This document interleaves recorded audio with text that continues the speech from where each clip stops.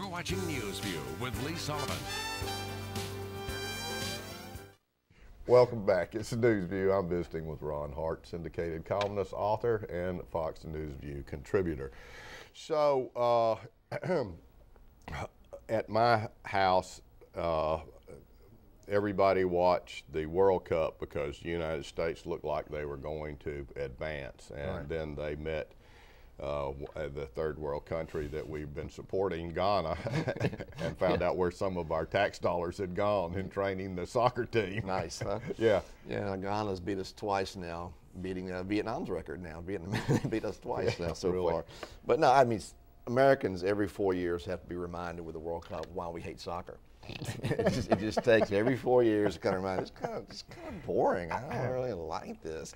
You should never put yourself in a position as a country where you can get beat by Ghana at anything. Exactly. I mean, you got to station yourself in life in a manner to where if you lose, let it be to Russia or Right. China or something A meaningful. world power, It's like a- right, right. It's like a bar fight with you know, uh, you know, a very weak person. You're, you're going to come out looking bad. There's no upside in it. So now soccer is one of these sports that uh, you know, Paraguay, Uruguay, what Argentina's left it. I don't know. It looks like a Nazi, you know, vacation land. Right. Uh, these countries that are left. So uh, Germany.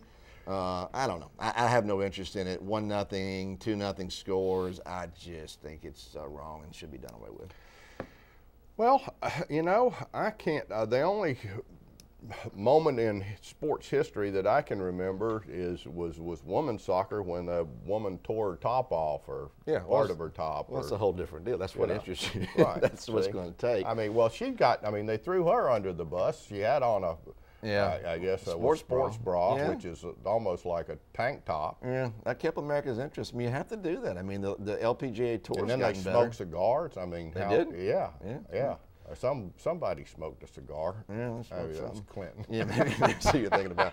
Now, soccer. I mean, I would think. I mean, I don't know. I, I watch ladies volleyball. That intrigues me for some reason. I don't know why, but I like beach volleyball. I, you know, I don't want to. Uh, you know, yeah. Let me don't. I've I started to do something about Tiger, but long, I, I want to do the the next Supreme Court apparently justice, the nominee, Kagan's. Uh, I, I mean, have you have you watched any of that? If I may say, confirmation. You know, you know you're pretty bad. If you're not, you're on C-SPAN three, not C-SPAN two. You're pretty boring. But here's what we know about Elena Kagan. Her name is Elena Kagan. That's kind of what we know so far. She wears comfortable shoes. Uh, no apparent love interest.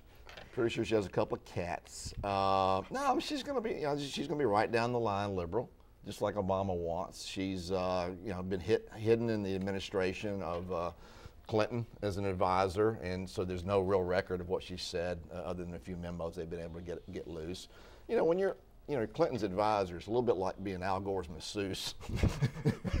At some point, it's going to come down to your word against hers. I'm pretty sure that's the situation you're heading toward over time.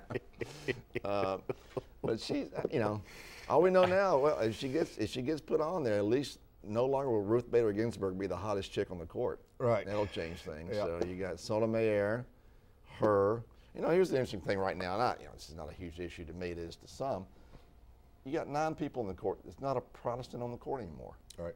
It's an odd dynamic. Uh, not, not that you know, it comes down to Roe versus Wade. I think a lot of Republicans put Catholics on there, and Alito and Roberts are very, very strong. You know, Clarence Thomas is Catholic, of course, uh, Scalia is as well. And I think the right to life or the, the Roe versus Wade fear is the reason I think Republicans put Catholics on there for years and years and years. Uh, and I I just think there needs. You know, here's a guy Obama about diversity when it when it suits him, of course. Right. Not not when he's thinking about the court. Look at the court. Nine people in the court. You know, a country's what 60, 70 percent Protestant. You know, there's not a Protestant in the court. I mean, I, interesting dynamic. So. Uh, he's going to stack it as best he can with people that think like he does. He's going to have stealth candidates that you don't know anything about, and you know that they're probably more important in many ways than the Congress and some of the rulings they can potentially have for us. Right. I, I agree. Uh, that was that, that was one of my fears about uh, this uh, past election. Listen, uh, you'll you'll come back. Yeah. We'll we'll do another one. For, Yeah. Yeah. I, I appreciate it. Great. Ron Hart, Newsview, and remember, those are my views. What are yours?